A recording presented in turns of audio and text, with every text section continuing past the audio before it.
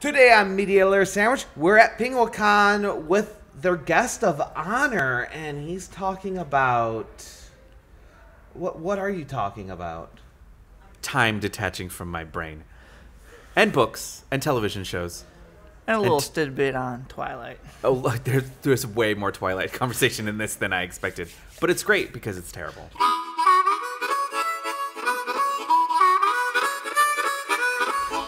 Welcome. We are recording an episode of Media Litter Sandwich. We are at Penguicon. So the people that are watching this actually know why I said what they're watching because I hope they would already know or listening to. I'm Toad from Toaden.com and YouTube.com slash ToadenK. With me is William from Allaboutwilliam.com. And since we're at Penguicon, we asked for one of their guests of honors to interview, and so they roped somebody into this. So first off, my apologies. Oh, I'm so down for this. I love it. I actually love that I am fully unprepared because that's basically my tagline on the internet. So I feel like it's it's thematically appropriate. Cool. Okay, so since you probably don't know, we're a podcast that are from media creators. Uh, William's a photographer, I'm a videographer. One of our other hosts has done public access TV and music and a ton of stuff, um, but he's not here right now, so we're not going to worry about that. and operating our camera is B from Third Hand. B14, who streams on Mixer, and he helps me out at these cons, which we're always uh, very thankful for, even though he's not in front of the camera um, as he gives me a dirty look for this. so what we talk about is not just creating media, but the world around it. Right. You know, and you definitely see that. Yeah, I do. You want to tell us a little bit about it, or you want me to go ahead and try to do my best Oh, and no, probably butcher everything you do? Oh, it's it's interesting too because I think we're in this weird, beautiful stage of like uh, media production where people have jobs that literally did not exist a decade ago. Um, and I run into this problem all the time too because you know I'm now getting into publishing fiction for the first time, and that's very easy to explain. I wrote a book; it came out. The end.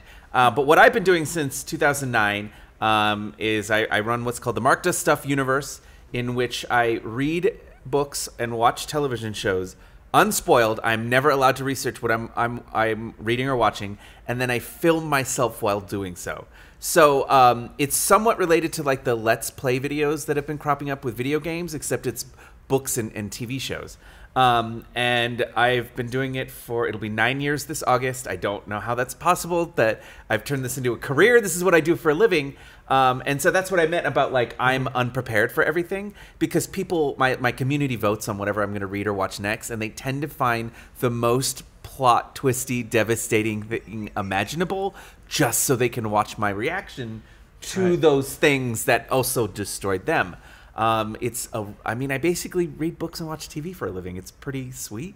Um, but it's I, like it's it's in media that's not a thing we had like at all. I never when I was a kid this is never something I thought I would do in my life, but here I am. Yeah, and the fu- the the big change is back when we're growing up, even 10, 15 years ago, you know, you watch a TV show and it's this whole new world and oh, in this universe it's like this. Today we want relatability.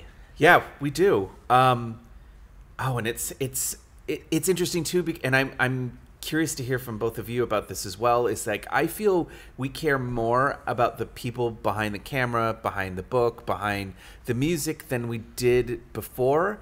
I mean, growing up for me, it was all rocks. Everyone was a rock star. Everyone was a movie star. These authors were these unreachable people that I never knew anything about. They were all very, very mysterious. Mm-hmm. Whereas I have people who have literally corrected my own bio to my face, and they were right.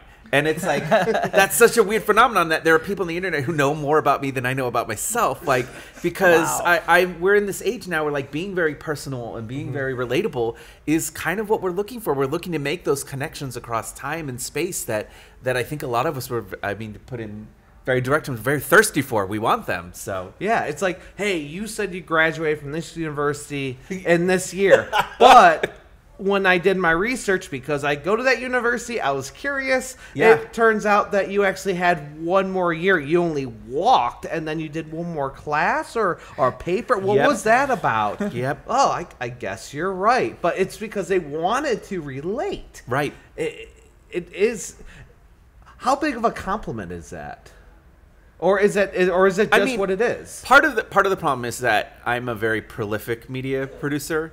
Um, I did a count a couple weeks ago because I, my publisher wanted to know. They're like, "How many pieces of nonfiction work do you have currently posted on the internet?" Because I don't link to everything all the time. I have these blogs or these huge like backlogs of everything I've ever read and watched for the last nine years, and I'm up to something like 7,500 essays in the last nine years.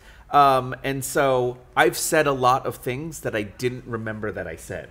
Um, where I like talked, you know, in this specific example, someone corrected. Uh, when I was uh, two years old, I got, or it was before I was two, I got adopted out of foster care and I lived in Boise, Idaho for this tiny little period. And I was doing like a live chat thing on I think either on my website or Reddit, and someone was like, "Tell us more about being in Idaho." And I was like, "Oh, I was there until 1993 when I moved." And then someone commented, and they're like, mm, "Didn't you move in March 1992?" And I was like, so immediately I was like, "This is not a compliment at all. This is terrifying." And I was like, "How would you know that? You're right, but how would you know that?" And they're like, "Oh, you said it in this review here." And I was like. Oh, like okay, that's not your fault. So it was flattering that they're like, "Oh, I remembered this detail about your life, and I find you interesting enough that it stayed in my head." So it, it ended up being a compliment. It initially I was like, "I feel like I'm in danger. This is terrifying." Did this dude Um, know somebody that works for something? right and how and how do i get access to that thing but it's it's flattering when people pay attention to you and it seems genuine if that makes sense Right. like when it feels like they're actually interested in who you are as a person i think that that attention is always complimentary to me Very cool. Because I could see being defensive at first, like, wh- why do you know that? What are you doing? I don't under. Then you realize they're just a fan, and Yeah. and they just want to correct or see what's up. That's and that's awesome. I mean, I'm a horrible speller, and sometimes I put up stuff very, very fast. And for someone to correct me, at first it's like, oh, now I gotta change it, and this side, and this side, and, and, and over here, and then I gotta check my notes, see what I wrote over here. And the other, but I'd rather be right than wrong. Yeah. And Yeah. sometimes there are things in the balance. Mm-hmm. Uh, you know, changing one word could mean the difference between. Um, it could mean it could just be the difference between people going, okay, I understand what they meant there, versus uh, a sponsor going, yeah, we don't like that word, or a guest because this actually happened to on my channel where I interviewed somebody and I used a term that they were no longer associated with, or they did not want to associate themselves with Right. anymore. They used to be, but no longer, and Right. they and one of their um, you know one of their affiliates reached out to me and said, hey, if you take this word out of your tags and out of your description, we will promote you. Yeah. We will promote your podcast. Yeah. Yes, we're going to take that out. Yeah, Absolutely. yeah. Let me do that right now for you. yeah It's better than if they didn't say something. right Right. Yeah. Oh, come on, William. I know I you never have questions. Okay, so you know you have your all your independent stuff, Mm-hmm. and then you have all these reviews. How Yeah. do they intermix? Um, I mean, I I started this whole thing as a hobby. It was actually it wasn't even a hobby. Let me back up. It was a bet. Um, A bet? It was a bet. I had an editor when I was living in Los Angeles. Basically, he he bet that I couldn't read the Twilight series and make it through it, and it was just this shitty joke he made. How much Um, money did he win? um, well, he didn't win any money because he lost, um, and inadvertently started my whole career. And I don't even know that he knows that he did this. Uh, I suspect he probably, when he sees my stuff, because we're still friends on Facebook. But, um, I mean, in the end, technically, I won because I got a, a I could live off of it. So I feel like that makes me the winner. But I mean, it was a bet that turned into this internet like viral sensation that became a hobby, and then I moved from Los Angeles to Oakland, and I had a full time job, and then I got laid off from that job, and I turned the hobby into my job out of dis- desperation because I needed to do some this thing I'd been doing that was just a little silly joke was getting bigger and bigger and bigger and taking up so much of my time that I was like, I wonder if I can have it take up my full time and make it a thing out of that. So I've been doing it as a job, you know, since 2000 yeah, January 2012. And so that that element of it means that even up to this day, that's sort of my my I consider it my day job. Like that's the thing, and I take it very seriously.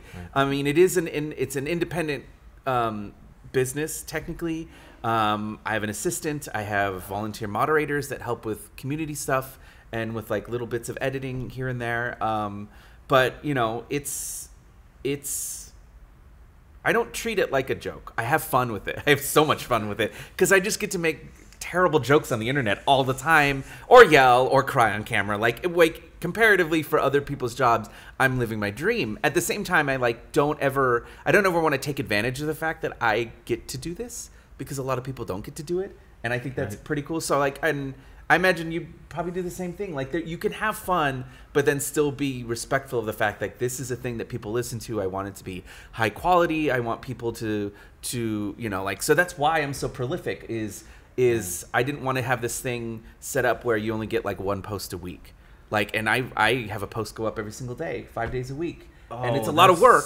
It's a lot of work, but I like that consistency, and I like rewarding the people who have chosen to support me either through Patreon or through my videos or or coming to the website and commenting. I like the sense of this like community that always has a momentum. I'm watching one thing and then moving on to another, and then reading this book and then moving on to the next book in this series. And instead of this project that just starts and ends and then it's never there's nothing else beyond it. Mine is always sort of moving. So, I mean, I guess that's how I think of how I think of it.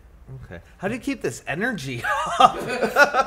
Uh, I mean, five different content a week at minimum. Times At- two. Times two. because there's a, I have a book site and a TV site, so it's actually ten. So ten reviews a week. So it's with a that inclu- video uh, version, and then And you then- have it written out. So, well, the video version is basically the raw, immediate reaction, Okay. and which I really love because that's also a form of film or book criticism. Is your what is your immediate reaction to plot twist, character development, you know, visuals? If it's television, like what your immediate reaction often says a lot about yourself and a lot about the thing that was produced. The written part is sort of like me then processing it. So a lot of times I'll say something in a video and then I'll get to the review part of it where I'm, I'm writing it down and I'm like, mm, actually, I don't really like this thing. I don't think it's as funny as I thought it was. Like, you know, or or it's me just expanding on why this thing made me so emotional, or why this thing scared the shit out of me, or you know, and telling stories from my life or whatnot. So, you know, those are the two components. Um,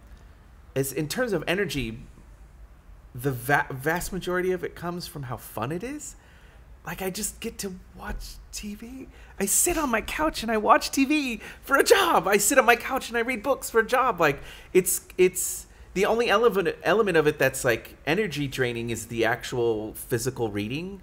Um, can be pretty draining at times. Yeah, it's I hard tried to do some book reviews, and it was just just to try something Yeah, different. yeah, yeah, And so a couple publishing companies would send me some books that they just wanted some promotions, and they were never any good books. Yeah. and they also weren't meant for my demographic anyway. Yes. they were usually meant for four, uh, 14 year olds uh, uh, that were into the whole retelling of fairy tale graphics. Yeah. I had re- Wait, read like sounds like four my or five. I'm like, wait, give me those books. I kind of. Oh, but it's hard right? It's it's it is a challenge. I'm not going to lie and say it's not or that it's not physically draining at times. Um, every once I, for the most part what's been really neat about it is that over the years people have figured out what my taste is and the things that they know i'll react to. So they anticipate that and so they're recommending things they're recommending me things knowing there's either one element in it or the whole show that'll just ruin my life. So I'll give you a good example is and I didn't know initially know why people recommended this, but for about 2 or 3 years everyone on the planet was like, "Why aren't you watching Person of Interest?" And I was like, I don't know. I don't really want to watch. I don't know. It didn't. s- I didn't really know what it was, um, and because I can't research it, I couldn't go out and be like, okay, that sounds like my thing. But people just kept pitching me like, it's a show. It's not what you think it is. As long as you get past the first season, like it's. I think it's your thing. Um, and so I finally got to it last year, and it was my thing. One episode in, by the way. I don't know why they were all like, you got to wait the whole first season. But it was so fulfilling because I went into it just knowing that people wanted me to watch it and not knowing why. And then as I watched it, and the show vast became vastly different than what it had, it had been uh, pitched as to me, even in the pilot, I was it was such an interesting experience for me. Um, and so it, it's very rare that I watch or read something that I actually dislike. And if you're reading or watching something you dislike, you get much more tired easily. You mm-hmm. get more annoyed easily. So like I don't have that. I love of- being annoyed though. It's I, I love being annoyed because what I'm doing when I'm reading or watching something I dislike, why don't I like this? Yeah, I agree. That's the thing people forget to do. It's not, oh, this, I don't like this, this sucks, whatever, turn it off. No, why don't you like Yeah. it?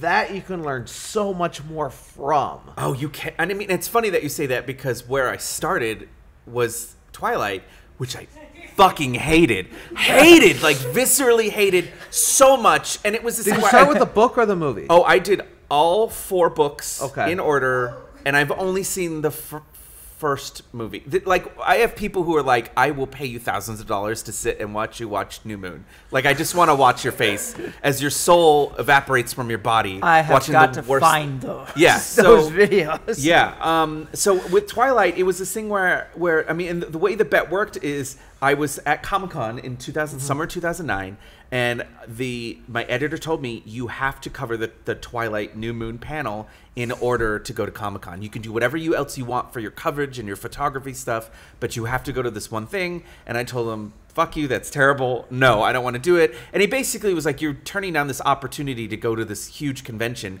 For free, mind you, because of one hour. And I was like, all right, I'll do it. Like, and it ended up being this really strange experience. That was the first year that people lined up at Comic Con days before a panel started. So now it's a thing that they plan for, and they put like these big tents outside because they know people will line up for Hall H, which is this like, ele- I believe it's twelve, maybe thirteen thousand people fit in one room, and it's where all the big major like the Marvel stuff happens Right. there. Like, mm-hmm. so I'm just gonna wait the day until the footage gets leaked. It's this i get it's this experience because if you are in line early you get to be feet from these people you admire and adore. So i was there in line from at like five in the morning on the day of the twilight panel surrounded by twilight fans and listening to them talk about how this is the greatest series ever written. And i had this moment have you ever had this moment where you hear someone talking about a show or a book and they they're talking about it and you're like oh maybe i got this wrong. Maybe it is actually good and because i was biased against it i'm just thinking negative things. Um, you, by the way you should listen to that because i did not listen to that. And and so when i got back from la and i'd done a, a piece on the people standing in line instead of the, the panel itself. Oh, that's and totally it did really well and and my editor just made this comment. He was like it'd be really neat. I bet you couldn't read twilight and write about it. And so i actually started it like a few days later as a joke in the office but i i tried to give it a good go and be like okay look it's young adult fiction i know how young adult fiction works i've read so much of it there are certain tropes that i love and i don't care and i think i got like five chapters in and i was like this is badly edited I don't understand why any of this matters. This main character does not know how to make decisions. Mm-hmm. And by the and here's the thing, I I literally passed it around the office. It would get like 10 views a day. Like nothing, just nothing on internet terms. And then like the internet found it halfway through the first book and I had like 10,000 views a day at the end of the first book. And my editor was like, "This is doing really well on our website. Now you can't stop." um, and I ended up reading all No pressure four- there. Yeah, no pressure at all. I ended up reading all four books, and I think I liked like two things out of everything in the series. Uh, yeah, what's that? Alice. Alice was pretty cool. I was like into one of Jacob's brothers, like, but I think it was purely because in my head he was hotter than he was on the page. So I was like, this is pretty cool. Um, yeah, Alice was pretty neat, except for even then. Oh, we can't do this. I can't actually get into Twilight discourse. The point- there's this mistaken belief that like of who is allowed to be a fan and what the things that they're talking about. But like when you're talking to people who are super passionate about something that they mm-hmm. love, it's infectious. And I think that was something that I initially didn't capture. And I kind of want like it was fun snarking on a book and yelling at it, mostly in all caps. I used a lot of capital letters in these things, but. I, in, and how this because the thing is, is even then I it was just going to be a one-off project. I didn't want to keep doing it, but I had a friend who was like, "I think this would be neat if you did this with something you ended up liking." Um, and the second thing I covered, and somehow I was what twenty. I don't know. I don't know how numbers work. Tw- almost. Tw- I was 25 years old when this started. If he's I- wrong, feel free to correct in the Oh comments. Jesus Christ! No, that's horrible. Don't do that. Please do that. Um, um, I had at 25 years old, I had never read Harry Potter, and I had never seen any of the movies, and I was I felt like I was the only person on the planet who hadn't. So I had a, an office mate who was like, "I really like you yelling at Twilight, but I think you would like Harry Potter. You should do Harry Potter next." Um, and one of the things that was really cool about that experience was I had always thought that Harry Potter fans were like too intense and weird. But then once I started reading the book and then talking to a lot of them, was that experience of like, man, they have some really interesting things to say about the world. And yes, on the surface, you may think that they're these like really, really obsessed, like way too obsessed people. But like, aren't a lot of us like like get me talking about the X Files? I grew up with the X Files. is the thing that I just get horrible about. Like, if you're like around me and you're like, mm, I don't know if I like Dana Scully, I will like put a knife up to your throat and be like, I'm gonna murder you right now. Like, I have things that I get like super defensive about, which is not a good thing to be. But like, But it's really fun for It is those of us super that fun. troll sometimes. It's super- Who's your favorite character at Harry Potter? Who's your favorite character? Why do I have to choose from my babies? Uh, my fa- my um. I'm totally No, no, no, I can you. do one, I can Whatever do you're gonna say, I'm gonna troll you. I'm gonna tell you that right now. Tick. I mean, I, uh, she's in the top. Luna's in the top five because I love weird characters. Like I love Okay. characters who exist outside, and like Ah. Luna's, she's so her weirdness is normal to her, and I love that she just can't conceive of herself being weird. She's just. Mm-hmm. But I gotta go with my daddy Hagrid because Oh, he's I awesome. hated. I didn't like Harry Potter at first, Okay. and it wasn't until he showed up that I was like, oh, this is not the series I thought it was. And I think it was because, like, especially in young adult fiction, Mm-hmm. you often don't have an authority figure, like an adult, who is awesome very early in a series. They're usually the villains, or they're not there at all. And immediately I was like, oh, wait, he has a positive male figure who, by the way, arrives on a in, in a leather jacket on a fucking motorcycle out of the sky. Like, I was like, this is like a Judas Priest music video. I'm so into this. Like, and I've just had this thing where I just I always went love- to Meatloaf music video. Like, Oh yeah, yeah. Oh, he's way more meatloaf than Judas Priest. Oh my god. And what was really cool about the Hagrid? I like how you as- said his your- mind as on the podcast. You said you were gonna troll me, and you did, except you broke me. he's totally meatloaf. Oh my god. Because he's got that irreverent sense of humor, and Yep. he's like, but he's still like, oh, the hair, like, but like he still takes himself serious. Oh, this is too. mu- I hate this.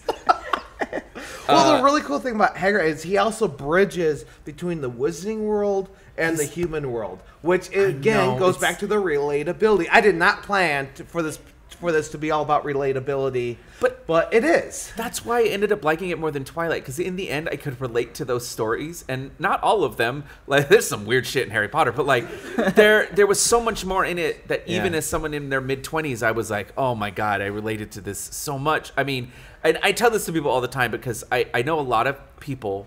Here's the thing: like when I was doing it, I also had no real idea how fandom reacted to the books in real time. So I never had a sense that if I had a certain opinion, it would be like controversial. Um, and so one of them was that I really liked Order of the Phoenix, and everyone hates that book. Not everyone. Now I learned that like lots more people like it, but like at the time, everyone was like, "We're really surprised you like this book. Why do you like this book? Harry is so hard to get through." And I was like, "Cause." I, I literally write in all caps all the times, first of all. And he screams in all caps throughout the book. But I just really liked that there was this kid dealing with trauma and anxiety, and it was just right there on the page.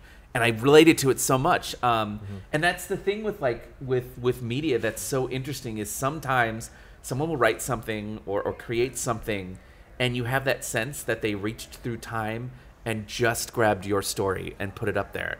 And it is just this transformative, amazing thing that only happens every so often. But when it does, like it's that's your thing and that becomes your jam, and you're just like, wow, I connected to this in a way where I'd never connected with something else. It's interesting that you say taking something and putting it up there for other people. Yeah. Because that's kind of what you do uh, when it comes to reviewing and reaction. And now today we actually have two books. Um, for video versions different than the audio version uh, in front of you, and they are not your own books. No, I got gifted these on the last panel by my friend who works for Subterranean Press. Um, I have read some of Aliette de Bodard's uh, work before, um, and Charlie Jane Anders. Um, but it's this thing now where like I still, uh, I actually had to put up a thing on my like FAQ on my website. Um, um, like please stop giving me books and DVDs at tour events because it was this thing where like people love my reactions so much that they just gift me things and then they're like, okay, when are you gonna watch or read this? And I'm like, Oh no no no no no no! I don't have my whole schedule's planned out for like a year ahead. I don't have any time to do any of this stuff. I'm Um, too busy planning on how I'm going to ship these back home. Yeah. Well, not these. These are very small, so I'm very excited. And I needed reading on the plane home, so I was like, "This is a great gift." Um, but um, yeah, it's it's it's such an interesting thing because I'm like known. There. Okay, I'm gonna I'm gonna make this real funny. I lit- there is literally a blog on the internet called Mark Reacts that is just a collection of gifs of my face.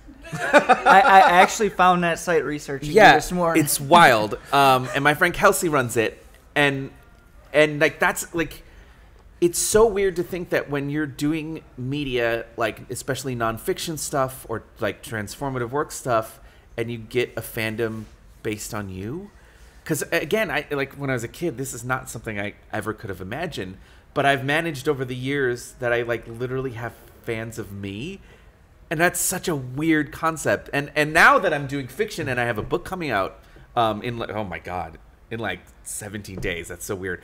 Um and now i'm seeing people you know like follow me on twitter and talk to me about and they have no idea i ever did all this stuff for the last decade and they're fans only of the book and now my brain is like i can't handle this that is so weird to me because when i was a kid i always wanted to be a writer and so i just assumed if that ever happened i that's the normal type of fans so i had to like rethink what a fan is over the last decade because you can we now have fans of just people and the things they say and do on the internet and that's that's our lives like Yeah. Let, us talk about your book for, for a minute. Since Oh it's coming God. out, let's talk about oh my it. god Well, um, what's the title of it? Um, so I have a book coming out with Tor Teen um, called "Anger is a Gift." It's a young adult contemporary book uh, that has become unbelievably weirdly relevant, and I did not plan for this, but it's about a bunch of kids learning how to stage a walkout at their high school. Uh, and this, I started writing this in 2012. It took about five and a half years to get to publication. Um, and and when, when I say that, I mean it didn't take five and a half years to write the book. It took like a year and a half for the first draft, and then multiple drafts, and then two years to find an agent. And then once I get an agent, it sold in 23 days. Which once once this shit happens, it goes so fast. Um, I got what is called crashed, which is when a publisher does not take like two years to publish your book. I got my book deal in February 2017. I got my editorial letter two months. I turned it around in four and a half days. Um, and so you- it's so weird because I'm used to the media stuff you do now. Like you're going to do this podcast and you're going to edit it. At at most, your this whole process is what like a month, maybe. I don't know how quick yours Less is. than that. We're we're. I'll probably have this done editing. I spend two days, three days on it, and then it sits until uh, it's a proper date that I Yeah. have it scheduled. Yeah, and I'm used to, and for me, it's I write a, re- I sit down, I watch something, uh, I process the video, and it does all the encoding stuff, so it can either go on in my store or on YouTube. Then I sit, and I'll take anywhere from 45 minutes to two hours to write a single review. I'll schedule it; it'll come out anywhere from 10 to seven days in advance. That is my whole timeline of posting a review and then I just move on to the next one and I do that. And and so getting into publishing has been really weird because everything is stretched out so long. Um um but it's it's been really cool because that's what I always wanted to do. I just took a weird windy roundabout path to get to publishing a book. Um, but I'm glad I took that path. So um, yeah, it's it's I'm I'm very excited about it. Uh, it's been it's surreal. It's very surreal when you want like this is literally my sole bucket list item in my life is publishing a book. And it's happening in like se- ooh now I'm getting like kind of emotional. It's happening in like 17 days, and I I literally cannot fathom it. It doesn't make sense to me. It still feels like a fever dream that I'm imagining it, and that something's just gonna swoop in and be like, "Psych, didn't really happen," which better not fucking happen. I did so much work on this book, but um, yeah. And then I have another book coming out in a year, uh, which I like barely sort of talking about because it's kind of slightly a secret, but um, it's it's been interesting to to to do media production, but in a different venue, especially when there's so many other people working on it. Right. Because I imagine you're editing the video, the these Yes. yourself. Yeah, I'm used to one passive edits, which is me on a review. I just read it over once, which means there's always a lot of spelling errors because I'm the same way. I type very fast, and there's just sometimes they're really unfortunate. Unfortunate. I remember once when I was reading The Hunger Games, uh, I didn't realize that my autocorrect had corrected the word clock into cock. And for about 10 reviews in a row, there's like, if you've ever read the second Hunger Games book, a clock is very important to that story. Yeah, all those reviews say cock. It's super awkward. No one told me until they were done, by the way. They were like, let's just let it keep going until he notices. I didn't notice at all. So, um, so I went, yeah, I mean, I feel like it improved the Hunger Games greatly. Um, but it's the So what time is it again? Yeah, what time right? Are we We- ending? Oh, my Five God. what? um, I think it's interesting too because I'm like you. It's when you're an independent producer, so much of it is just yourself. You're one person making the episodes, coming up, you know, or doing the research, doing the all of these things you do by yourself, and then you get to publishing where I turned the manuscript in, and then there was my main editor, and then there were three copy editors, and then four sensitivity readers. Then there's the marketing team. Then there's the uh, um, the the publicist. There's all these different things, and they all have little bits and pieces that affect everything that you do. Um, and I'd always heard that publishing was like a team effort, and I didn't understand it until I went through it. And it's very, it's strange. It's strange for someone to take your work and then ask you to make it different. Um, and I, it, it wasn't that I resisted. I did journalism in high school and college, so I was used to being edited. But it's still weird after spending nearly a decade, this being mostly a one man show, and now it's like 70 people worked on one book. And I, I, you know, until I went through it, I didn't really understand how weird and strange that experience is. Um, I'm gonna go ahead, and open us up to questions. Uh, the only thing I ask you guys to do is to actually walk up to the microphone. Unless you do not want to be on video, you don't have to do. You don't have to be on video if you don't want to. If you don't want to, you can just shout your question from your seat, and then we will repeat the question. Um, but I'll go ahead and open it up so the microphone is open over here. Going once. Go ahead, Blue. Um, well, I was gonna say first off, uh, with Twilight, if you do watch the movies, Oh, definitely watch Eclipse. Um, I saw it. I thought it was great. Pay no attention to the fact that I was sick and very high on cough medicine at the time. Oh, but Well, see, this is one of those. Well, That's a ringing endorsement, by the Yes. way. ringing endorsement. I was high. It was enjoyed it. great. I'm like, It wow, was. I'm in. Yeah, I You think have they to check call those hangover movies. Just remember to be high and drunk at the time. Well, it's, but it's even better when you're sober because then you get to watch this thing and, and have that moment of what part of this did the high person enjoy? Like, and then you see it, and then there's like, I don't know. I'm I'm super into this. It's gonna happen someday. I'm, I N- now you have to go and watch it. yeah, absolutely. Um, my actual question is: You've described so much of your process and everything. Yeah. You know, like all the things you do on a daily, weekly, monthly basis. How do you find the time and energy to keep up on it? Is it is Oh, it man, purely gonna- driving force, or is it just? Oh man. Okay, so two answers to that question. One, I'm literally on a panel about six that is that topic, which is Oh. how do writers, how do you, how do prolific writers do what they do? And it's like I'll me. see you there. Yeah, it's great. And I'll, uh, but I'm going to actually answer your question because there's a lot of what I do that isn't writing at all. Um, I will say that a healthy motivator is, hey, this is my job. I need to make money. And I have found that that motivates me about 75% of the time, where I'm like, I don't have a choice. I have to get this done. Um, and um, the other thing for me is it's about setting up habits. So um, I have this thing with my group of friends in New York, and well, and elsewhere too, because I have a lot of friends around the country, where um, I tell them they all know Monday and Tuesday I do not exist. Don't text me. Don't expect me to get back to you about anything unless your baby's on fire. Well, that's terrible. That, I mean, if your baby's on fire, please don't call me. I can't do anything about it. But you know, like, like unless it is like the highest of emergency, because Monday and Tuesday are Monday is my my my TV day. Tuesday is my reading day. That is the day I do nothing. I socialize with no one, and I give it to myself. Like that's my day to get these things done. Where I need to record videos. Um, you Does, know, does that stick? Because I find myself, and I tell people that those are the days they hit me up. nope. Oh, it they, does. They, they call it's me. great. I just don't All answer the the phone. I, Yeah. I have the same thing. Monday, Tuesday. don't Yeah, talk because Yep. it's not that they remember that you said don't call me on these days. They remember these days. Yep. That's what they remember. And if that's the case, it's a general reminder. I'll just be like, I literally just say it's video day, and they're like, "Good, I'm good. I remember now." Um, and so I have that element of the of the habit.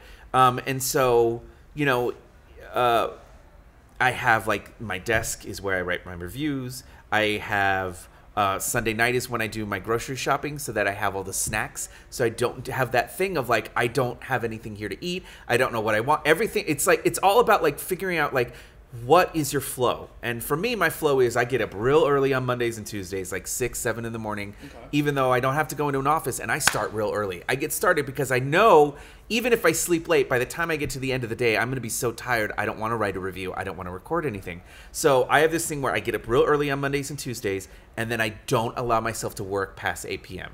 Because the other thing is, is I need to give my brain a break. I need to give my body a break because reading reading aloud for like half an hour is super draining. So I, I have these certain things that are like this is what allows me to stay on schedule. If I do happen to have writer's block, um, it's a little more difficult because it's not like I can just move on to the next episode. I need to finish that review before I can start the next one. So I have little things that I do to just jog my brain. Usually it's stand up, don't look at this for like five to ten minutes go walk outside walk down to the end of the block and back. Do something that has nothing to do with writing nothing to do with recording nothing to do with editing. Kinda just detox a little, yeah, yeah, and it's a way to get out. my brain to think about something else.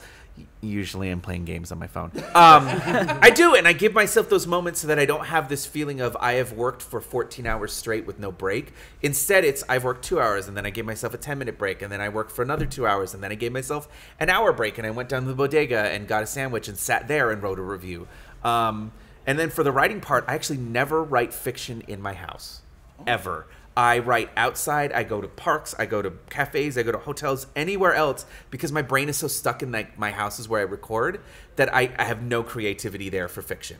So I found that that getting literally getting out of the house is how I get shit done for everything else. That's where I answer. I don't answer interview questions at my house. I don't do any, all. It's only recording, and I found my brain just likes that habit and you'll find what your habits are too and you'll know the things that get you in the groove.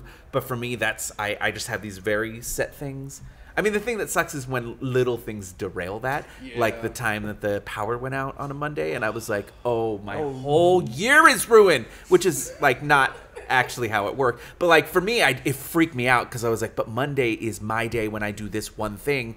I don't have a monday anymore. And i was like time has like detached from the meaning in my brain and like and really I just shifted everything to Tuesday and Wednesday and then I was like well I have a day off now but I it's it's developing those routines that make you feel comfortable because I found that I can be in that creative space that way That's brilliant. Thank Yeah. you. Yeah, thanks, I'm Blue. going to commit a lot of that to memory. yeah cool Okay, um, I'm gonna go ahead and end here. Oh, Um, cool. Go ahead and um, what's your website one more time? Even though most people already know it. you can find me as Mark Does Stuff on everything. Mark on Twitter, Instagram, Facebook. MarkDoesStuff.com is where all of my Mark Reads and Mark Watch or my Mark Watches videos are. Uh, MarkWatches.net, MarkReads.net. Those are the TV and book sites. Um, and I don't think there's anything else. Oh, my author page is markoshiro.com. Um, I'm all over the internet. I own half the internet. I'm just kidding. I don't at all. Uh, it'd be but it's very, if you it's- did. I know it would be awesome. Give me some of that Bezos money. It'd be great. Um, but yes, I'm, I'm very easy to find on, on the internet. And you can find William at Allaboutwilliam.com. I'm Toaden. You can find me at Toaden.com and you can find all my links through there. Also, MediaLitterSandwich.com. And I'm on a new podcast.